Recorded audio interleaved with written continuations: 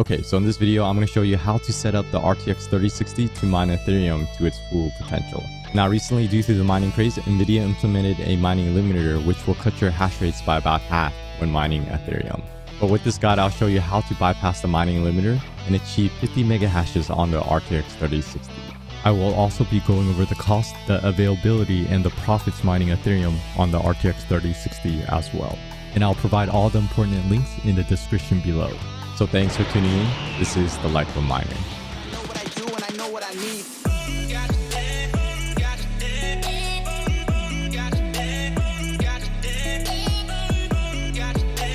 Okay, so this is the RTX 3060 from Gigabyte. And this is the RTX 3060 Gaming OC Edition, which comes with three fans.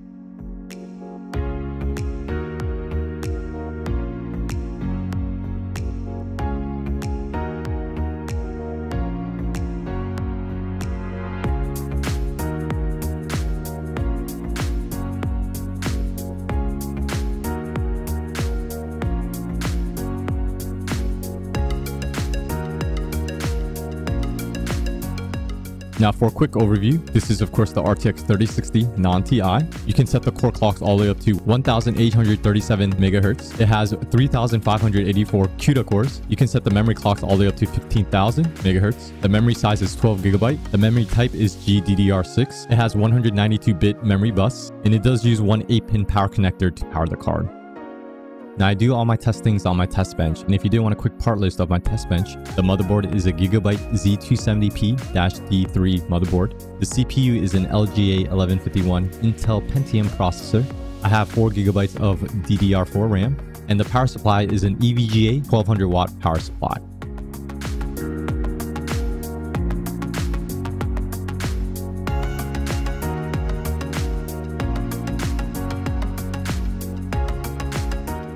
Okay, so before I start testing the GPU, there are two different drivers you can use with the RTX 3060.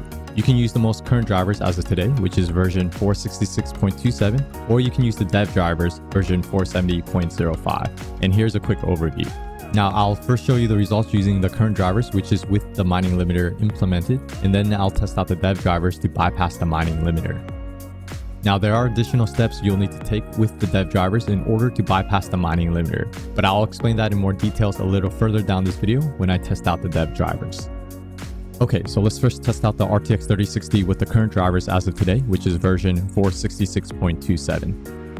And I do want to mention back in February, due to the mining craze, NVIDIA did implement a mining limiter to reduce your hash rates on mining Ethereum by about half. Now, this mining limiter only affected the Ethash algorithm and not the other algorithms. So you'll be able to mine any other coins without any limits.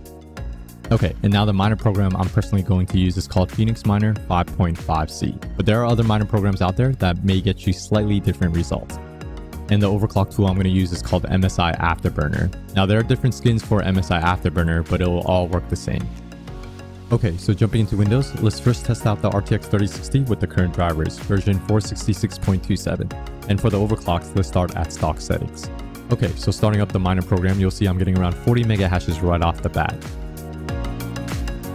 But then after a couple seconds, you'll see I'm losing about half my hash rates.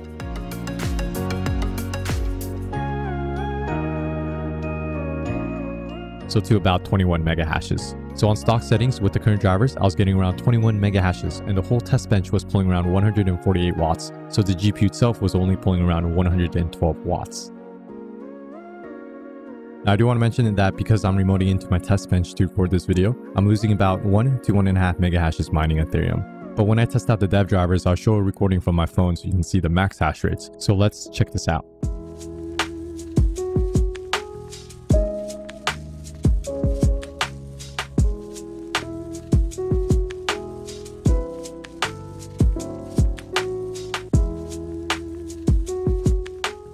Okay, now let's test out the best overclock efficiency settings I tested on the current drivers. So in MSI Afterburner, I put the power limit at 58%, the core at 0, and the memory at plus 1500. Okay, so now running the miner again with the current drivers. In the beginning, I was getting around 45 mega hashes.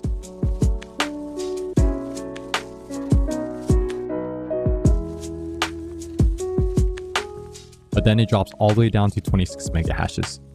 So with these overclock settings, I was getting around 26 mega hashes and the whole test bench was pulling around 134 watts. So the GPU itself was only pulling around 98 watts. So let's check this out.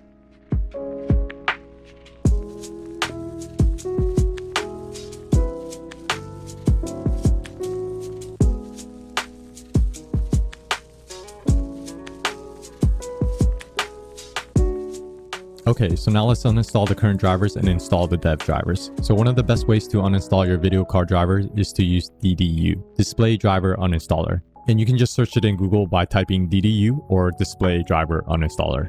And I'll also have a link in the description below. Okay, so now let's click here to download DDU. Once you're on this page, you want to scroll all the way down until you see the download links. And then choose the download link which is closer to your area. Once you click the download link, you'll need to wait about 4 to 5 seconds and the file will automatically install. Once downloaded, find the file you downloaded. It will be a zip folder.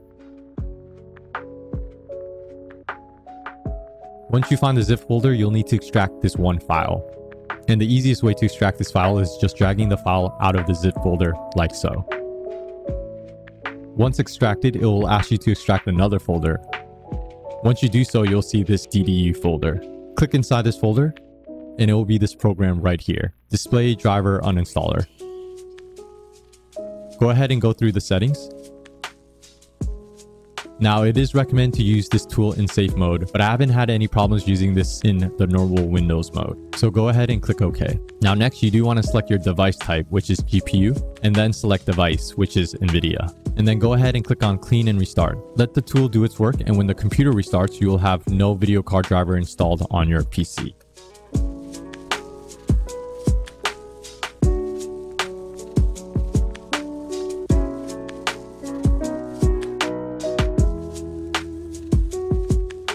Okay, so next let's download the dev drivers and check out the other requirements to bypass the mining limiter. Now if you join my Discord, I have a link to download the dev drivers. And I also have a link in the description below. Now once you download the dev drivers, there'll be other requirements needed to bypass the mining limiter. The RTX 3060 must be on a PCIe 3.0 on a X16 or X8 slot. So it's very picky on what motherboards you can use. So for example, the motherboard I have on my test bench is a Gigabyte Z270P-D3 motherboard. Now, just by checking out the picture, it looks like this motherboard has three X16 slots. But just be aware, the other X16 slots may run at X8, X4, or even at X1. So you do want to check out the specs. So if I check out the specs page and check out the expansion slot, you'll see that this motherboard can actually only use one PCIe Express X16 slot. If you want to run multiple, it'll be running at X4 or X1. So with this motherboard, you can only use one RTX 3060 to its full potential. Another example I have is the H110 Pro BTC Plus motherboard. This is one of the most popular mining motherboards out there. Now, just by checking out the picture, it looks like this only has one PCIe X16 slot. And if you check out the specs right here, it looks like that one PCIe slot is a 3.0 X16 slot, and the remaining slots are all X1 slots. So this motherboard, you can only use one RTX 3060 to its full potential. Another example I have is the Asus Prime Z930-A motherboard. Now, just by checking out this picture, it looks like this motherboard has three X16 slots. But let's check out the specs.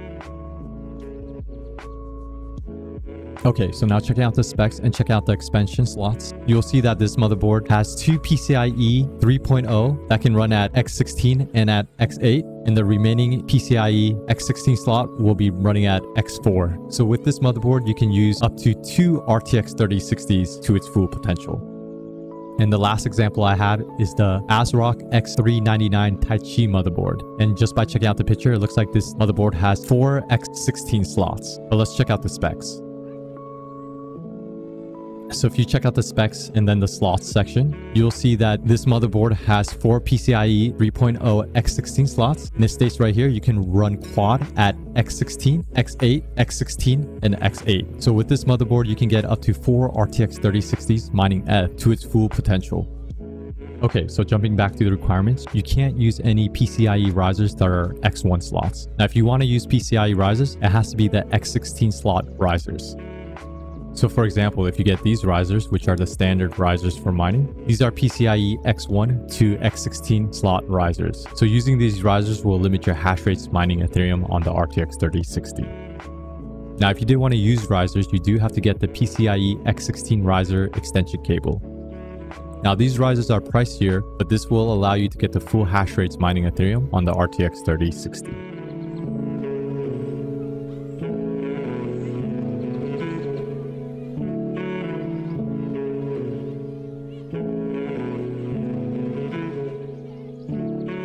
Okay, so now the last requirement is have the RTX 3060 connected to an HDMI monitor or an HDMI dummy plug. For example, if you have an RTX 3060 or multiple RTX 3060s and you don't want to connect them to an HDMI monitor, you can always use these HDMI dummy plugs. And this dummy plug will bypass the mining limiter to mine ETH on the RTX 3060. Okay, so now let's jump back into Windows install the dev driver version 470.05. So once you download the dev drivers, go ahead and install it.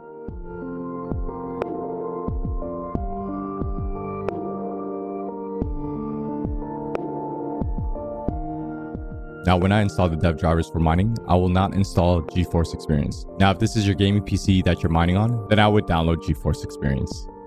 Okay, so now for this installation options, you can either choose Express or Custom. Let's go ahead and choose Custom because there are a couple components we do not need. Now, once you're on the custom installation options, go ahead and uncheck the HD audio driver and the PhysX system software because these components are not needed for mining. Now, you don't need to perform a clean installation because we did use DDU to uninstall the previous drivers. But let's go ahead and run this installation and check this out.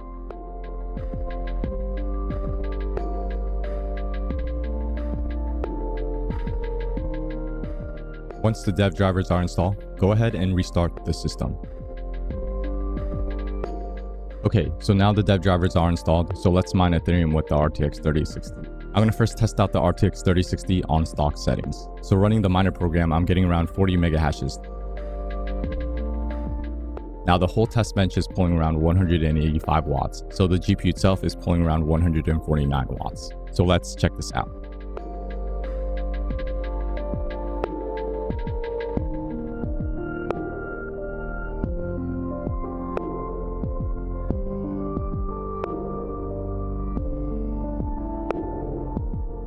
Okay, so now let's test out the best efficiency overclock settings on the dev drivers. So in MSI Afterburner, I put the power limit at 70%, the core at 0, and the memory at plus 1500. Now running the miner program with the dev drivers, I was getting around 49 mega hashes when remoting into my test bench. Now because I'm remoting in, I'm losing around 1 to 1.5 mega hashes. So I'll show you a clip right after this and you'll see that I was getting around 50 mega hashes. But let's check this out.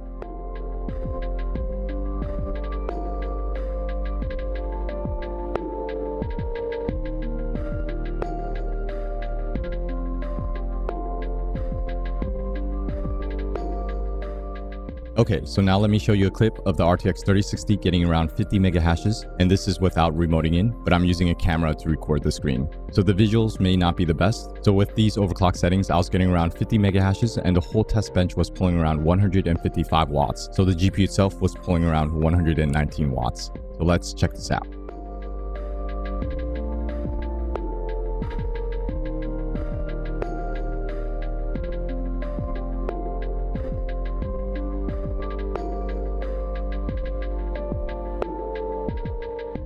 Okay, next I do want to show you a quick troubleshooting that you may run into on the RTX 3060.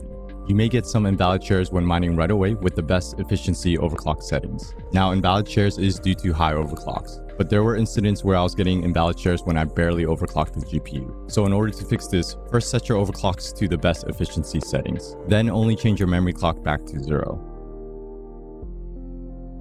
Start the miner program. Let the miner program run for at least 5 minutes or until you find a valid share.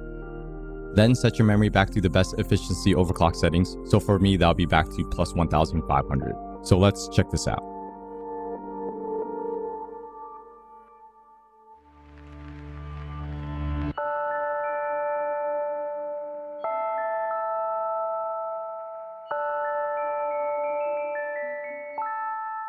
Okay, next I do want to talk about the cost and availability on the RTX 3060. Now the cost and availability is just as of today, May 10th of 2021. So down the road, this information may be a lot different. Now when the RTX 3060 was first announced, it had an MSRP of $329, but due to the mining craze, it was very difficult to get these cards at MSRP or close to MSRP. So first checking out Micro Center, which is my local computer store, sold out. Checking out Best Buy, sold out. And checking out Newegg, sold out. So it's pretty much sold out everywhere. Now, if you did really want the RTX 3060, you do have to buy them from scalpers. So checking out eBay, as of today, it looks like the RTX 3060 is going for around $900. Now, I highly recommend not to buy GPUs at scalper prices because it's not going to be worth it. Now, if you join my Discord, I have a section for GPU release notice and a Newegg shuffle notice, and you can try your luck and take your chances to get the new RTX cards at or near MSRP. Now, I was very fortunate to win the RTX 3060 from a Newegg shuffle, so I was able to buy the RTX 3060 near MSRP. Okay, so now let's check out the profits for the RTX 3060. Now just beware, these profits are just for today, May 10th of 2021 and these profits will change daily. So by the time you're watching this video, the profits may be way off. And I do want to mention that today the block rewards are a lot higher than average. So these profits will be a lot different once the block rewards come down. So pulling up WhatToMine, the price of Ethereum as of today is about $3,935.27. So first clicking on the RTX 3060, it's showing 24 mega hashes at 110 watts but this is if you're using the current drivers. Let's go ahead and fix this up because it's best to use the dev drivers to get the max hash rates. So let's change the hash rate to 50 mega hashes and change the power to 119 watts. Now where I live in the US, I do pay about 10 cents per kilowatt hours. So now calculating, I'll be earning around $11.53 a day before electricity and about $11.24 a day after electricity. And if I multiply the profits by 30 to get the month, I'll be earning around $345.90 a month before electricity or $337.20 a month after electricity. But this is just calculating the profits as of today. And like I mentioned, the block rewards are higher than average. So if you calculate your profits a couple days later, you may see a big decrease. Now just be aware that the profits do change daily. So I recommend to plug in the figures again whenever you want to calculate your profits profits are based on the price of the coin, the difficulty, and the block rewards, and any of these factors can change daily.